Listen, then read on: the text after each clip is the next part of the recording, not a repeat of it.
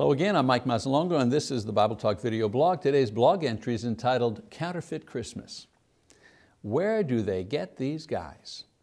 I was listening to a national public radio discussion in the car recently where three experts were parsing the latest pronouncement from the new Pope.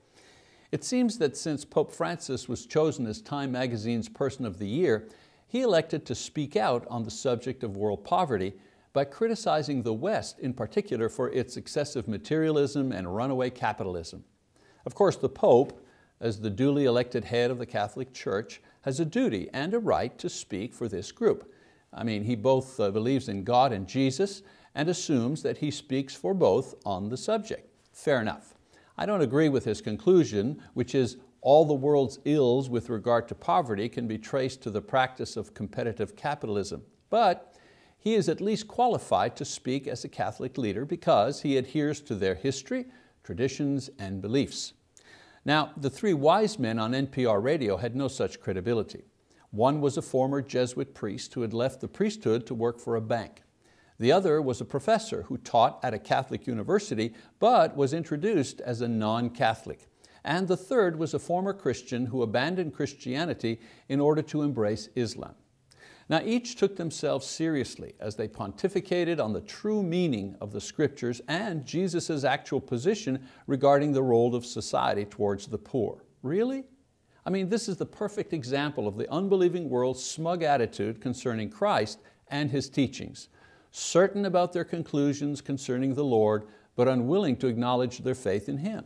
Imagine, taking lessons on the role of Christians towards the poor from someone who has publicly repudiated Jesus in favor of Muhammad.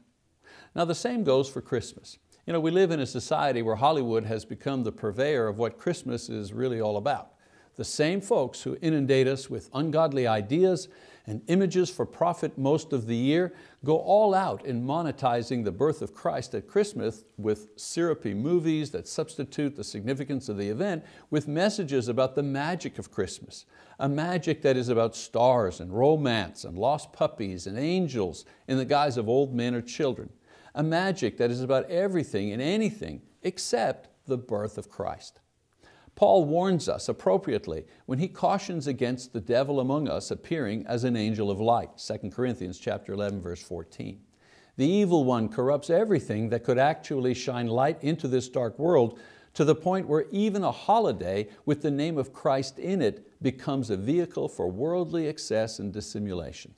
So let's be careful, brethren, not of eating or spending too much at this time of year, but rather of being taken in by those who are circulating a counterfeit Christmas. Let's rejoice in the knowledge that the happiness that we feel is because salvation finally arrived as the Christ child was born in Bethlehem. Not magic, but God's promise fulfilled. Well, I'm Mike Mazzalongo and you've been watching the Bible Talk video blog. Hope you'll be with us again in the future. Bye-bye.